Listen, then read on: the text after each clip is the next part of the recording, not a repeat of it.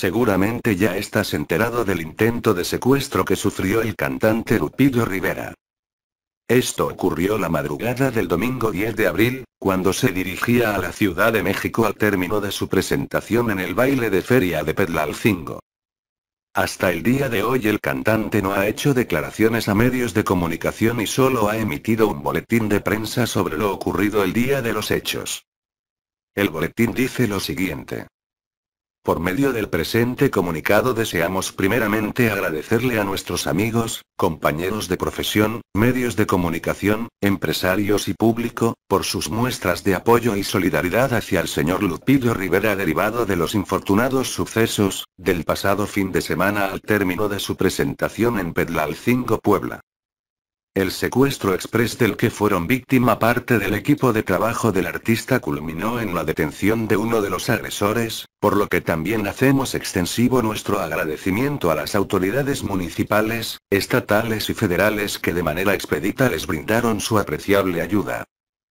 Por la naturaleza del hecho el señor Lupillo Rivera fue víctima de gran estrés y angustia, por tal motivo no emitirá declaración alguna con el objetivo, primero de no revivir la experiencia sucedida y segundo de no entorpecer las investigaciones de las autoridades que aún continúan.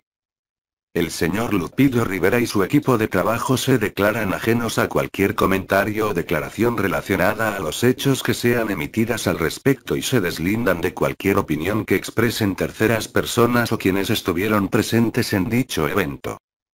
Agradecemos su interés, actualmente Lupillo Rivera y su equipo de colaboradores se encuentran bien de salud, recuperándose del shock emocional causado por este secuestro y amenazas recibidas, esperando volver pronto así a los escenarios para interactuar con su público querido. Anterior a este boletín de prensa, el empresario Antonio Cruz, quien contrató a Lupillo Rivera para su presentación en el evento, declaró a medios de comunicación que el domingo después de su presentación, Lupillo regresó corriendo de su camioneta diciendo que lo habían querido secuestrar, él pudo escapar pero su chofer y asistente fueron levantados por tres hombres armados, quienes pretendían robar el dinero que Lupillo había cobrado por su presentación. Después de lo ocurrido Lupillo Rivera ha suspendido sus presentaciones. Esta es toda la información que se tiene hasta el momento, en cuanto tengamos más datos les seguiremos informando. Hasta pronto.